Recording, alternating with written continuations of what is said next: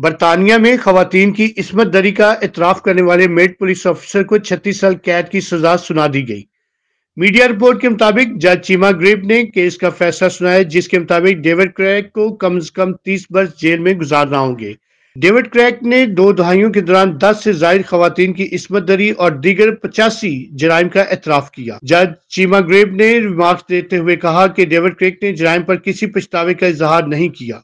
अक्टूबर 2021 में इसमत दरी की दूसरी शिकायत पर क्रेक को गिरफ़्तार करके मुअत्तल किया गया। मीडिया रिपोर्ट के मुताबिक जबते की संगीन खिलाफ वर्जी पर मेट पुलिस ने जनवरी में डेविड क्रेक को बरतरफ किया।